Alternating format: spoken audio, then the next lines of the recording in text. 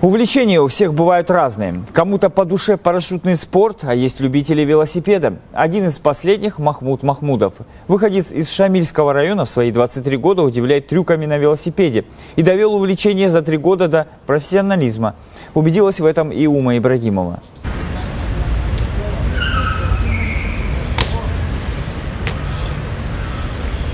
Этот трюк для Махмуда Махмудова самый сложный, ведь при его исполнении нужно учитывать балансировку, управлять тормозами и уметь правильно поднимать колеса велосипеда и приземлять. Последнее, как рассказывает Махмуд, это особая техника, которой тоже надо учиться. А этот велосипед, он как, у него есть какое-то название или модель? BMX называется. BMX? BMX. Это с периода это английского или начинается bicycle motocross полное расшифрование. Велосипед у Махмуда обычный, даже можно сказать слишком обычный, ведь он старой модели и без тормозов, поэтому новичок на нем явно долго не продержится. Но и у него есть свои плюсы. У каждого велосипеда, конечно, есть свои минусы и плюсы, но преимущество ее, ее можно сколько хочется ронять и не беспокоиться за нее.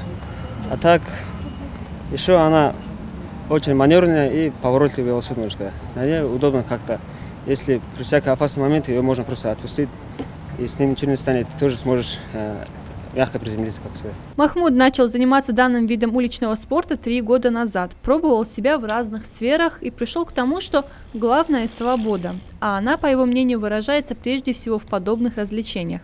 Но любое занятие, говорит Махмуд, требует тщательной подготовки. Я сначала начал вообще неправильно.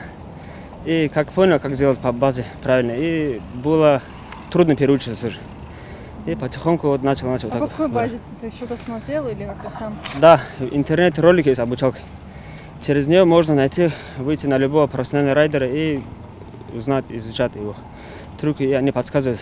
Друзья и близкие Махмуда к его увлечениям относятся неоднозначно. Кто-то считает, что это так и останется в его жизни на уровне хобби, а другие видят грядущие перспективы. Ведь сейчас юноша уже работает тренером для начинающих велосипедистов.